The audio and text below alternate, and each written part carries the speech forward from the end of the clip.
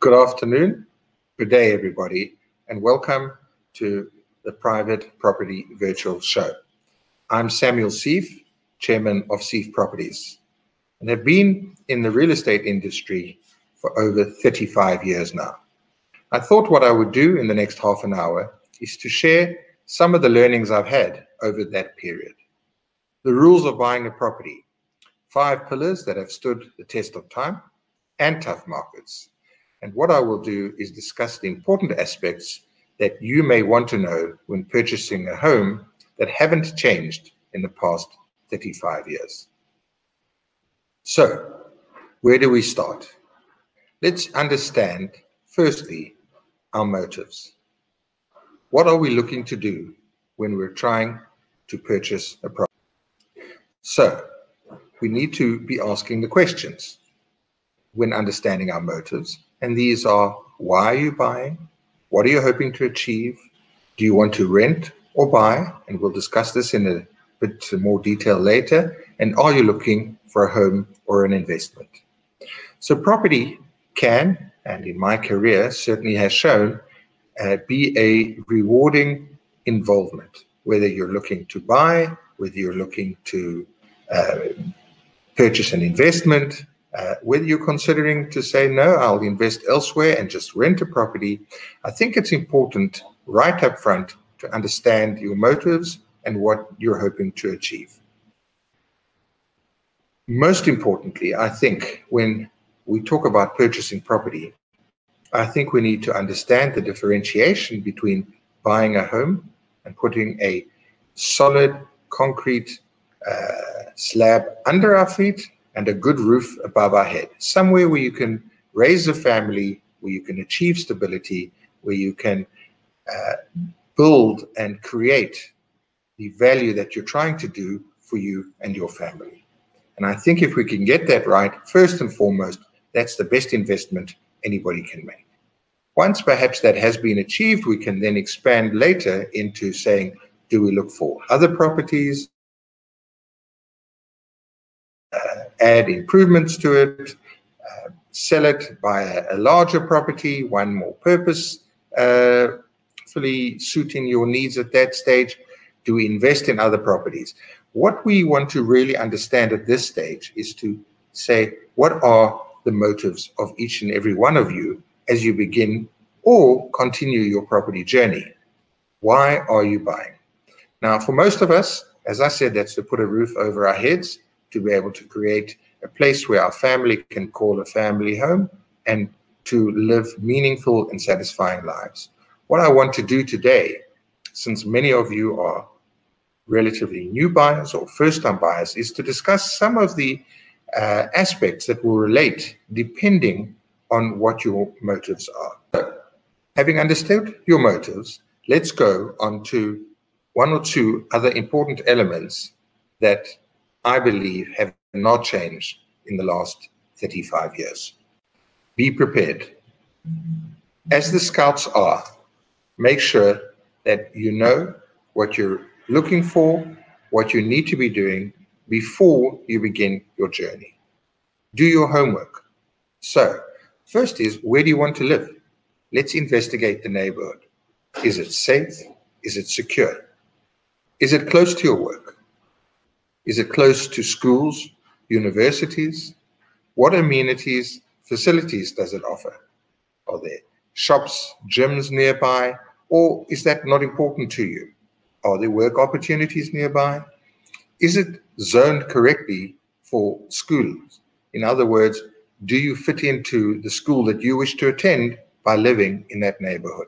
It's very important that prior to making the actual purchase or investment that you understand where you're going to be.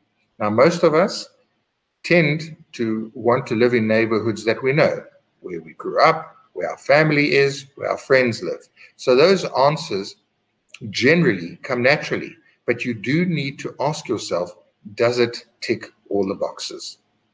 Then let's understand when you have seen and are really interested in a property, uh, let's investigate some of the factors around that particular property. What is the zoning? Can other surrounding properties be redeveloped? Uh, can they block out your view? Let's understand the condition of the property. Can any plans nearby, uh, for example, building of other uh, institutions or other investments or uh, other projects, shall I say, can they detract from the value once you've purchased? Those are the things you need to take into account and understand when you're looking uh, to make your purchase. So be like the scout. Make sure that before you really commit yourself, you've done your homework, you understand where you're going to live, what that area offers, and what the property itself uh, offers for you. Understand your legal position. What does that mean? So it's not just a question of finding the right property, but you need to understand in what legal entity you'll be purchasing that property. For example, in whose name that property will be registered. Understand the difference between ownership for you as an individual, whether you want to buy it in a company, a trust, or joint ownership if you wish to buy it with somebody else. And for each of those ownerships, the different tax implications. So we need to understand the additional cost to be budgeted for when transferring the property into your legal entity um, of choice and the capital gains tax applicable when selling. Make sure that you've done your homework in that regard, and that you understand the different implications as a result.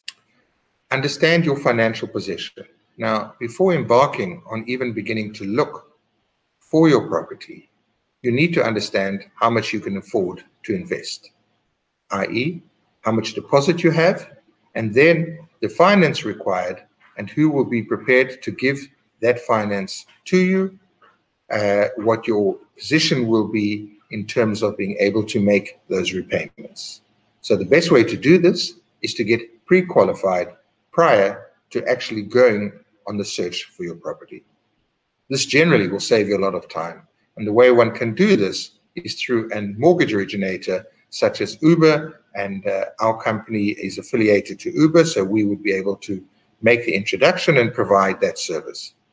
Uh, ooba would come along, they would look at your financial position, taking all your income and your expenditure, and then be able to give you a, a pre-qualified certificate as to what you would be able uh, to afford when applying for a bond through a bank or a financial institution. And then understanding your financial position, you need to understand that there are ongoing monthly costs uh, besides your bond repayment. Rates, taxes on the property, levies if you're in a sectional title scheme, uh, water, electricity. Generally, you need to also budget for ongoing repairs uh, because that is part and parcel of ownership of property. So you need to put aside and make sure that financially you can take care of those ongoing monthly costs. And lastly, understanding your financial position means that you need to be prepared that interest rates, uh, as well as your other expenses that I've mentioned, may increase. Now, interest rates could increase uh, monthly, those aren't annually. The uh, other expenses generally are annually. But interest rates tend to go in cycles, and we need to make sure that you're not using your last cent to just cover the interest rates now, uh, and that any increase in interest rates and increase, therefore, in bond repayments is going to make it difficult for you on a financial basis. Just a short note on interest rates at the moment.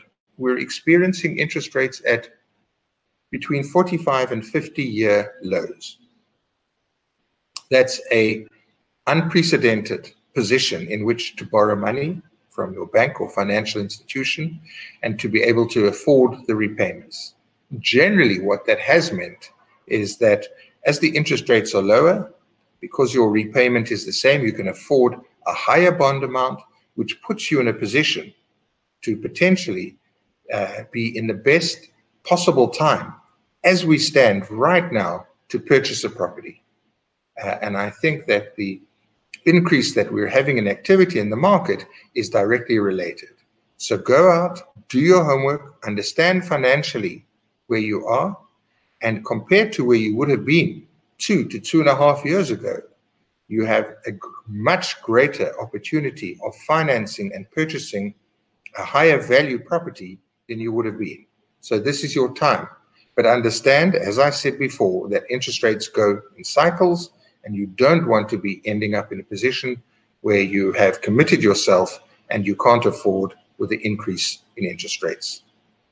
Most important point, though, now is this is your time. Going to buy, uh, as I say, in my career, I've never seen interest rates this low, and certainly uh, the activity, as I talked about, that we're seeing now is as a result of this. Okay, so that's the fourth point.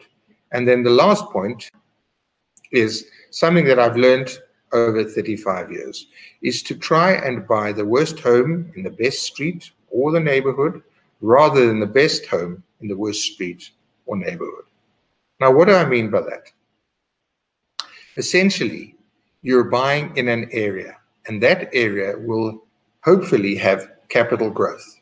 And what we're saying there is that if you can buy what's considered the worst home in a neighborhood that will have big capital growth, then that is makes far more sense than to buy the best home in a street or a neighborhood that won't be able to uh, have similar growth uh, into the future. And why do you want to do that? Well, if we go right back to one of the first objectives, you need to understand as to what are you actually looking for, understanding your motives. Now, most people say, well, I just want to buy a family home. But generally, if you take the time and the trouble, and as I said, to do your homework and be prepared, you can find uh, similar homes in different streets or different neighborhoods, which at a period after uh, some time, five, ten years, will be vastly different in value. And why is that? Because certain areas as we know, are more exclusive and more expensive. And if you can get into those areas, even if your home will require upgrading, reconditioning, uh, refurbishment over a, and renovating over a period of time, when you have done that, if financially you can afford to do so, your home will be in the company of those around it that have, will have increased dramatically in value whilst we're being rewarded through ownership of property and through a, fable, a stable family environment, what we need to try and understand is at the same time, if you buy well, you can have good capital growth. So, this is one of the rules that I've learned very early on in my career, and I can suggest to you. Try and buy the worst home in the best area or neighborhood rather than the best home in the worst street. Now, when I say that, I don't mean that we're all going to move our family of five or six people into a bachelor flat into Clifton because uh, that is considered the best neighborhood and the highest priced in the country. That's going to make no sense. Got a family of five or six people, you're going to need a three or four bedroom home, clearly. But if you can choose between different neighborhoods with three or four bedrooms home for your large family, look for the uh, neighborhood that is considered better, more exclusive, it will give you a higher capital growth. And at the same time as looking after your family and putting a roof over their heads, you'll be able to enjoy that capital growth. So, those are the five rules, the five pillars that I've seen over 35 years that haven't changed if you want to invest wisely. Understand your motives. What are you looking to buy? Two, be prepared. Make sure that you know what you're looking for, that you uh, understand what you what you're about. Three, and and do your homework. Three, understand your legal position. Make sure that from a legal position you are uh, in control and understand what the objectives are in terms of in which entity you're putting the property understand your financial position. And when you've got all of those right and understand and are completely up to date with one to four, then five, go and find the best, uh, the worst home in the best street or in the best neighborhood. Give it time, upgrade, renovate it, make it in the same condition as the properties around, and you'll have received great capital growth and appreciation over time. Stick with those rules, You won't go far wrong. Hopefully, that will give you some assistance in terms of your quest of purchasing the ideal property for you. I have been given some questions that I'd like to go through, which may equally at the same time give you a bit further inside uh, uh, input, um, some insight uh, and advice that may also assist you in your journey of purchasing properties. So let's go to the first question. Given how most things evolve, how have actual properties changed over the last 35 years? Okay, so generally, we've seen uh, some changes, and particularly at the moment with COVID uh, in place, uh, we're starting to see some other changes. What really happened was the cycle over the period of time moved very much from suburbia or suburban freestanding homes over the beginning of my career to gated complexes. Uh, security complexes have become very, very popular over the last uh, 10, 15, even maybe 20 years as people have chosen security uh, as one of the more important elements that they need uh, to have in their lives. Now, one of the interesting aspects that we've had just prior to COVID was that people were actually moving closer to the city into smaller accommodation. Uh, they were saving money on big gardens. They were saving money on uh, large electricity bills and keeping big homes going. And they were buying more compact properties. And in fact, many were starting to move back into the city to avoid the commute, to avoid the transportation uh, complex, uh, complexities, traffic, etc. Now, with COVID, what we've seen is amazingly a move away in a short space of time where people are saying, well, maybe I don't need to work, uh, live and work in a very close proximity. I can live further away. I only need to go to office once, twice, maybe three times a week. Uh, the commute isn't so bad. Actually, traffic uh, has decreased and I need a bigger home. I need a home with a study. I need a home with a garden. Uh, I don't want to be as restricted. So what we're starting to see is a movement away. And I think that in general, what I've learned is that there are cycles. Some stage, living in big, large properties with big gardens will be popular. Other stages, moving uh, into town uh, and staying in a smaller apartment with no commuting uh, will be more popular. What it is, is it ultimately goes to the first point that I said is to understand your needs. Not what everybody else is doing, not what the markets are doing, but your own motives. Understand your objectives, and when you live through those, you will be fine. So, we have seen changes. I think things will continue to change.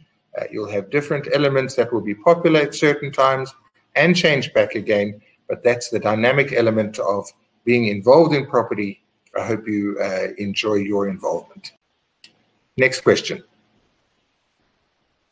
Property as an investment over 35 years. Well, I remember my first property sale at 35 years ago. It was an apartment uh, in the city bowl of Cape Town, uh, two bedrooms, uh, 50,000 or 52,000 Rand was the purchase price. That property now somewhere between two and three million. Well, why didn't we go out and buy many, many properties at that value at that time, which have appreciated? And what we can see there is generally over time, properties have appreciated. And they have done uh, for, for many, many years. They did it all the way up until the global financial crisis of 2008. There was strong appreciation.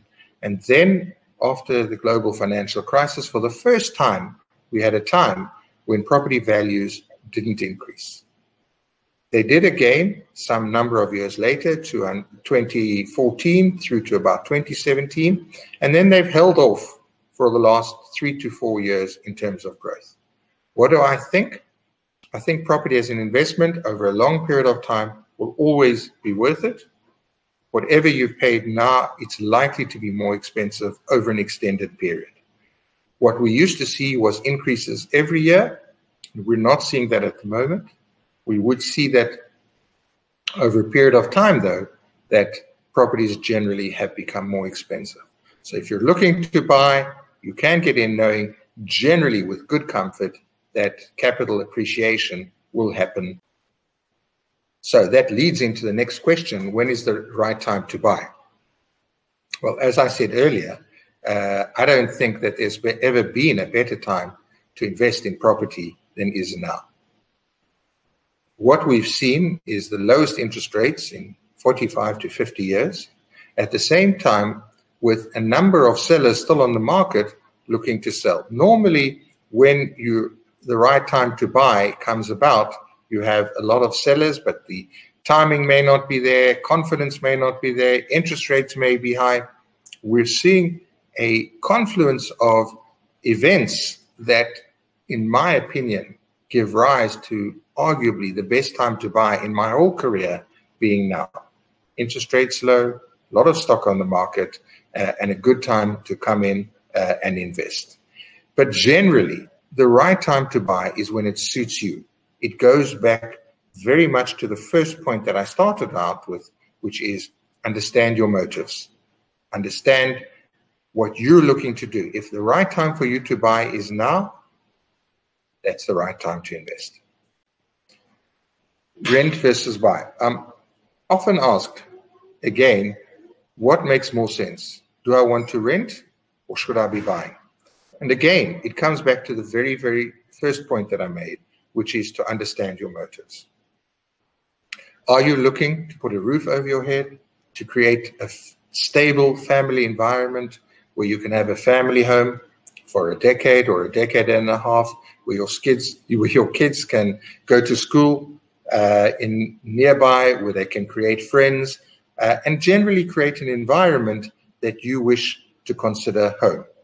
That, if you're looking to do, often the answer is better to buy.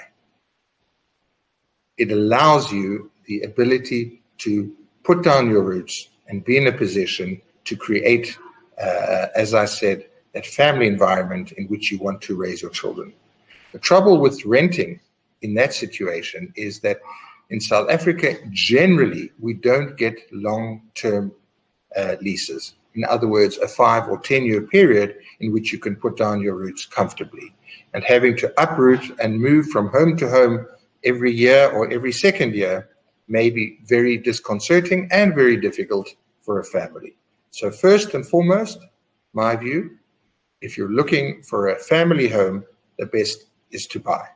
If you're looking for other kinds of investments, one could rent and put that capital that you might have put into property into other investments. Again, that's a personal choice and understanding your own motives. Me, being in the business, I would be looking to buy. Next question how do you know if you're buying a property that will grow in value? So, in general, over the 35 years, properties across the board have grown in value. You've had capital appreciation uh, over a period of time.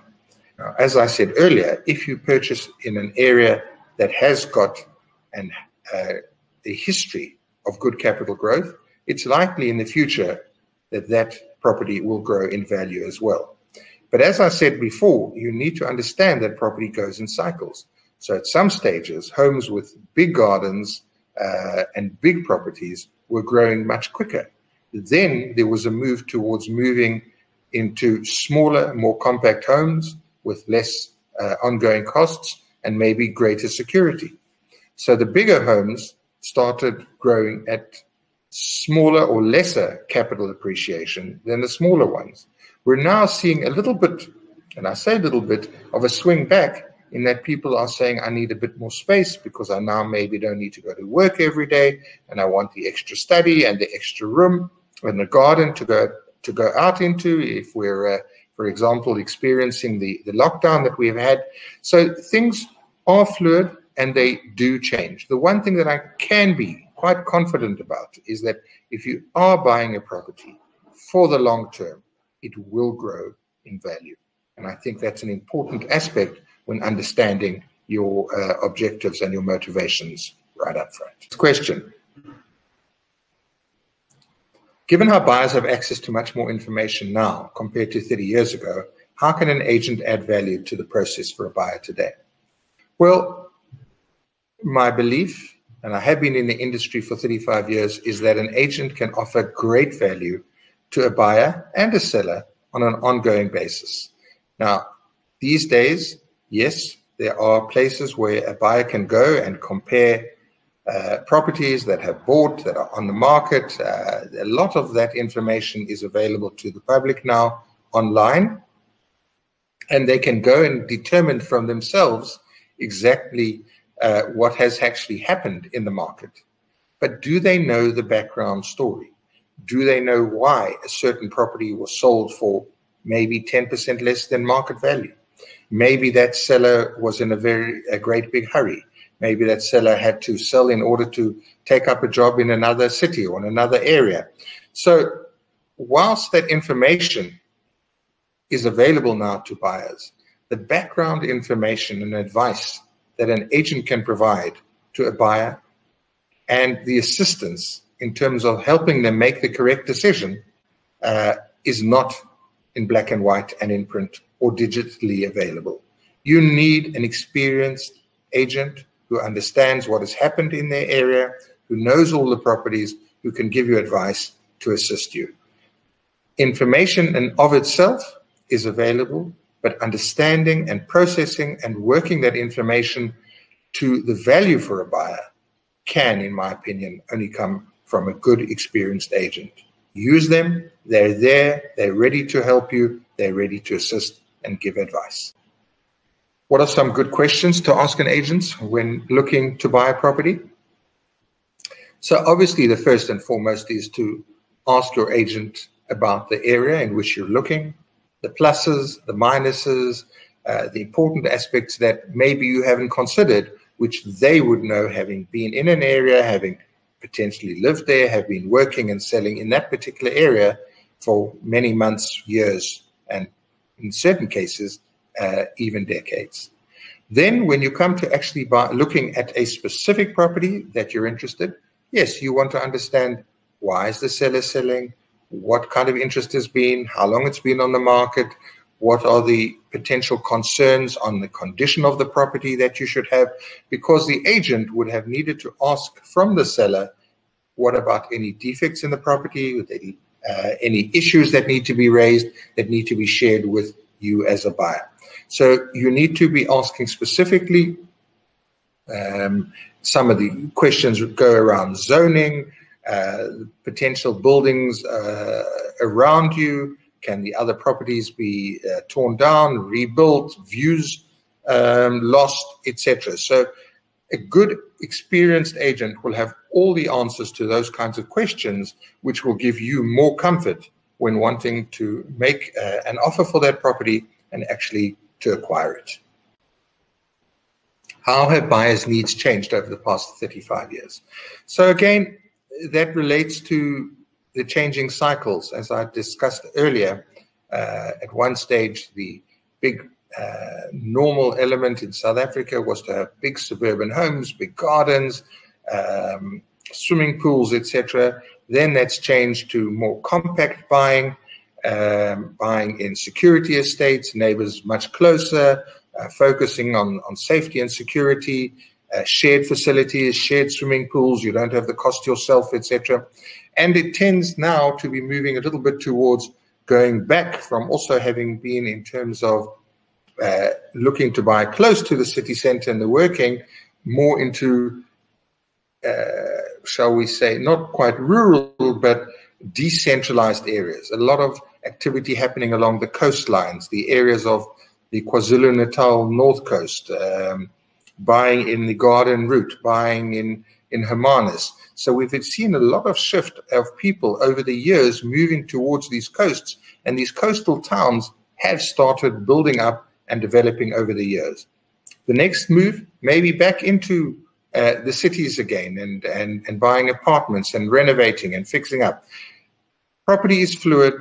The needs and demands of individuals will change, and they have done so. The one thing you can know for sure is that certain areas that have always been top grade properties, uh, such as your top uh, areas in your uh, seafront areas, your Clifton, um, your Bantry Bay, uh, your Ballito, your Umhlanga, those areas have been uh, popular for many, many decades and will continue to do so going forward. Question. Has the financing landscape changed over the past 30 years when it comes to securing a bond? And what is the best approach today when seeking finance? So, as I indicated initially, this is a very important aspect is for you to understand your financial position. Um, and as I said earlier as well, interest rates are the lowest. So you want to take advantage of trying to um, seek a mortgage bond which can assist you in purchasing your property as we speak today. One of the areas that has changed, and we've had compared to 30 years ago, a major freeing up of capital. So in 30 years ago, one had great difficulty in obtaining mortgage finance uh, to secure a bond. Now, virtually, if you have a good credit record uh, and a good uh, confirmation of job employment, um, the likelihood is the bank will be prepared to lend money to you. So what do you need to do? You need to ensure that you do have a good credit record. If you have any blemishes, you need to go back and try and repay back any debt and try and ensure that you can clear up your credit record so that a bank will view, view you a lot more positively than otherwise. Um, the best approach today when looking for finance, in my view, is to go, as I said earlier, through a mortgage originator. They will give you different options. They will seek out the best financial uh, opportunity for you from a number of the institutions rather than just one, and generally uh, will ensure that you'll be able to receive the finance you're looking for at the lowest possible rates. So, thank you very much for joining me for the last half an hour. Uh, I hope and I trust that I have imparted some advice uh, that I've learned over the last 35 years that will assist you when looking uh, at your property investments. As I said right up front, uh, property can be very rewarding. It can add a tremendous amount of value in your life, both as a physical space that will house your families and allow them to grow up, and two, hopefully equally at the same time, as a good investment. If you have any further questions or anything else that you wish to ask of me, please feel free to contact me on samuel.seeff at seeff.com. And I'm quite sure that I'll be able to put you in touch with uh, one of my agents around the country to give you more uh, personal advice in your particular area. Thank you once again, and I trust you learn a lot throughout this virtual show. All the very best.